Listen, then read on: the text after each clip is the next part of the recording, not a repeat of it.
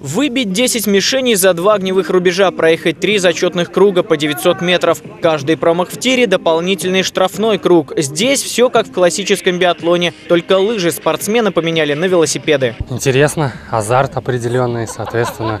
Хотелось бы почаще участвовать, но не всегда получается, не каждый год.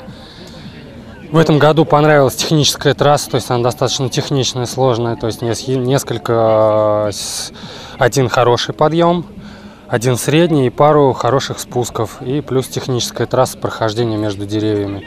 Интересно. Вот стрельбовая трасса меня подкачала, к сожалению.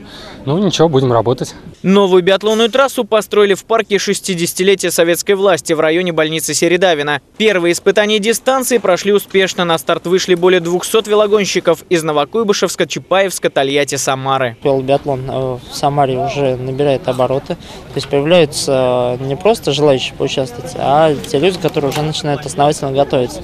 То есть они уже обзаводятся и своими винтовками, и там раз в месяц точно выезжают со своих винтовок, пристреливаются. И, соответственно, э, также улучшает свои качества техники владения велосипедом на кросс-контрейных трассах. Чемпион по самарскому велобиатлону определялся два дня в нескольких дисциплинах. Детская гонка, взрослых суперспринт, гонка преследования и эстафета. Поехала тренироваться в деревню. Мы с папой там проезжали э, какое-то расстояние, потом стреляли, тренировались. У нас была имитация гонки. Если не готовиться, ты ничего и не добьешься. В этом году открытый чемпионат Самары по велобиатлону получил финансовую поддержку от городского департамента спорта. На грант организаторы приобрели полевой тир и винтовки.